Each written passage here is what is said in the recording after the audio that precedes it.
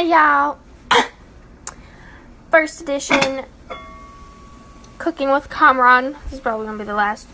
Um, got some pineapple, some onions, some peppers. If you have suggestions on what I should make it with, let me know. Because I have noodles, I have rice that I don't know how to cook, and I have tortillas.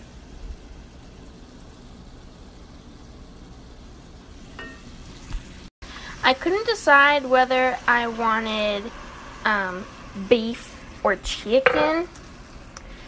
So I used beef. um, but yeah, I'm pretty proud of myself. And the meat looks overcooked because it is, because it's leftover meat from 4th of July. Um, and I still haven't figured out whether I want to make it taco or something else. But I'm